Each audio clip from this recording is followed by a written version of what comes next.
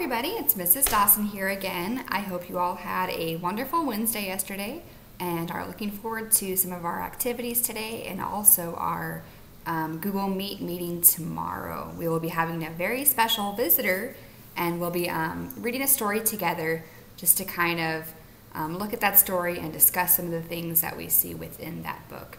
So um, make sure to log in tomorrow to our Google Meet. It'll again be at 2 o'clock, and I'll send out a reminder as well. Um, I'm also going to be posting a video that kind of explains how to join Google Meet. I know a couple um, families had trouble logging in last time, so this video I thought was really um, helpful in walking through the steps and joining. So I'll be sure to post that as well on our Google Classroom. Okay, so let's take a look at our schedule. We will start with the hello. We'll explain today's activities for Thursday. We'll have a challenge of the day. We will read a story together, a quick story, and then I will send you on your way. So let's go ahead and do our good morning song together. You can join in with me and make the motions, here we go.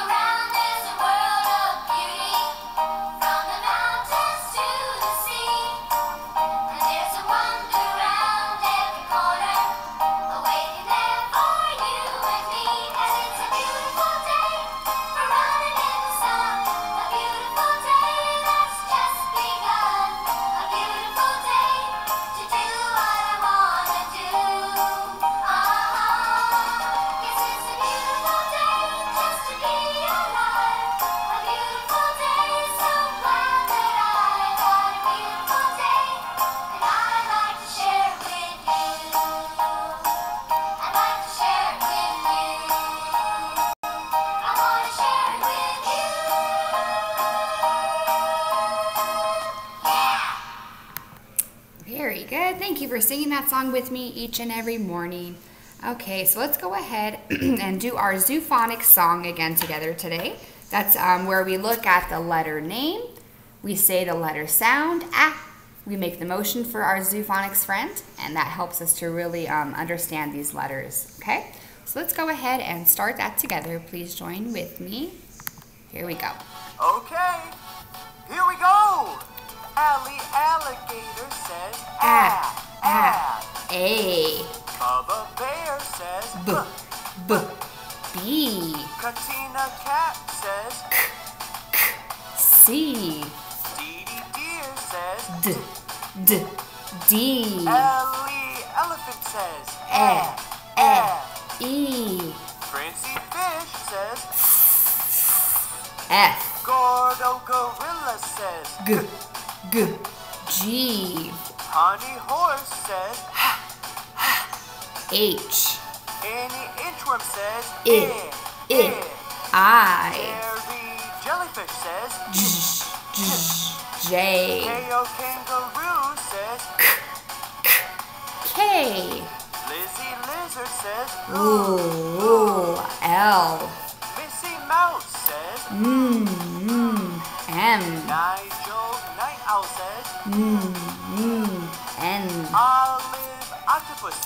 ah ah O, Pee-wee Penguin says P, Queenie Quail says Qu, Qu, Q, Robbie Rabbit says Ooh, ooh, R, Sammy Snake says S, Timothy tiger says. T. Umber, umbrella bird says. Ah, Uh, ah. U. Vincent vampire bat says. V. Willie weasel says. W. W. W. Xavier fox says. X. X. X. Yancy yak says. Y. Y. Y. Zeke zebra says. Z. You did it! You learned all the sounds. Very good. So thank you for practicing that um, Zoophonics um, video with me. It really is helpful in us learning all of our letter names and the sounds that they make. And that's a really important skill for us to have going into kindergarten. So thank you for practicing that with me.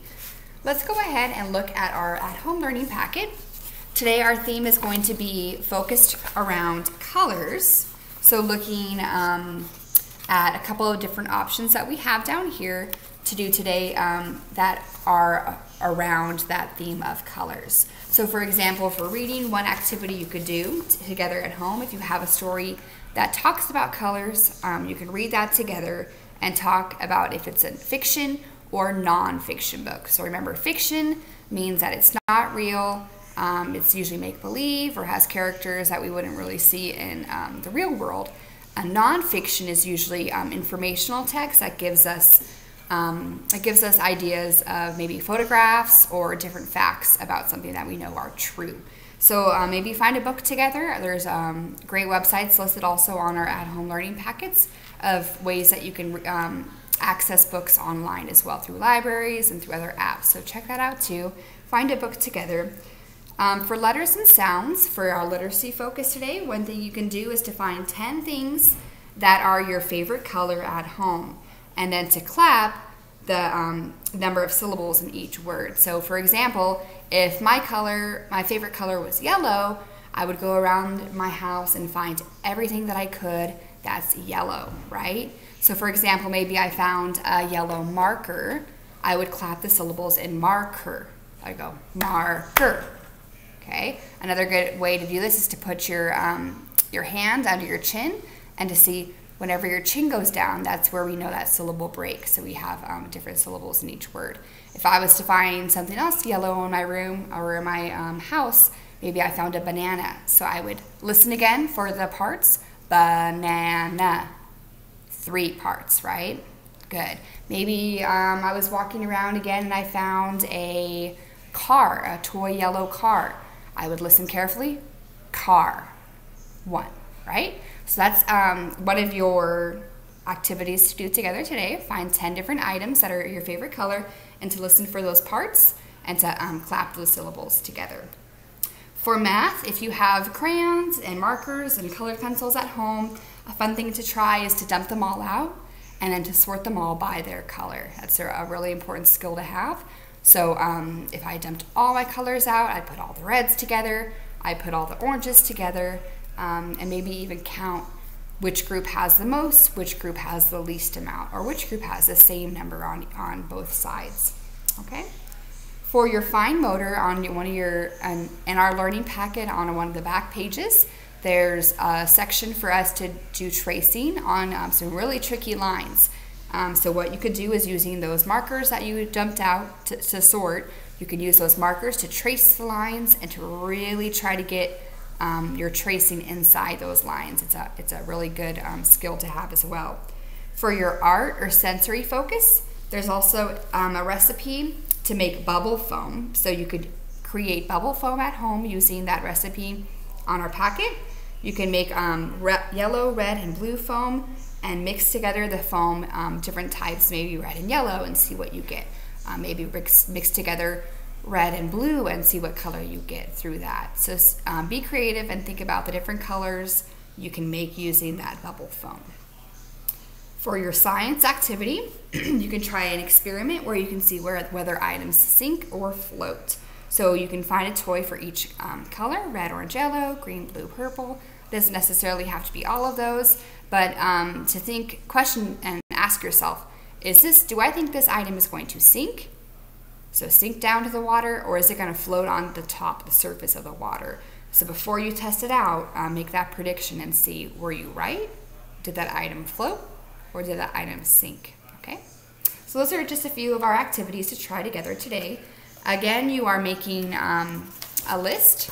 Each day we practice those writing skills are so important for us to continue to hold a pencil and to practice um, making the letters and the words that we know. So um, try your list out. A good one today to try is your favorite colors.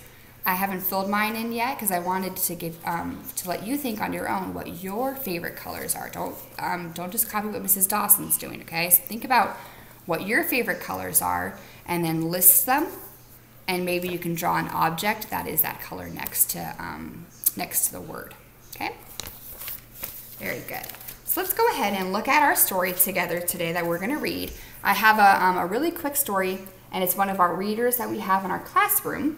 So it's it's um, sight words that we know. So throughout this book, your child could probably independently read this book without my help.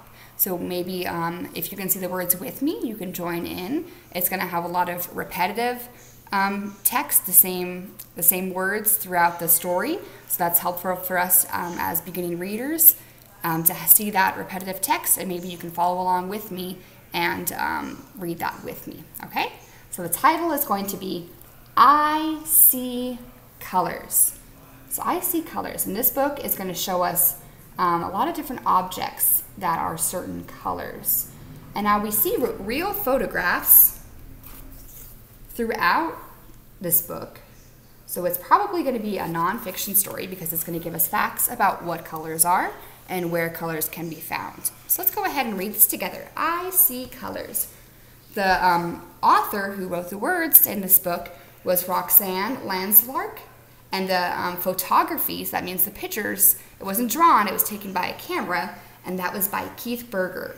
So let's go ahead and read this together. I see colors. And here's our title page. It says the same thing. Can you read this part for me? I see colors. How many words did we point to to read? Let's check. One, two, three. Very good. I see colors. So when you're pointing under those words to read, if you have books like this at home as well, make sure you're using that, that finger for one to one. I see colors. Very good. Let's read. Hmm. Can you see this page? Yeah. Do you know these words here? Let's read them together. I see red. Very good. I see red. Remember I pointed three times again. There was three words here. Let's look at the next page. What color do we see now? Blue, right? Let's check. I see blue. You're right. Very good. what color do we see now? Yellow. So let's point and read. I see yellow. Look at all the different items that are yellow. Hmm, what color is this? Starts with the g, g, Green, you're right. Good checking the picture. I see green.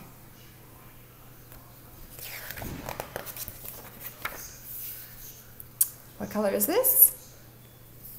That's an O. I see orange. Very good. What about here?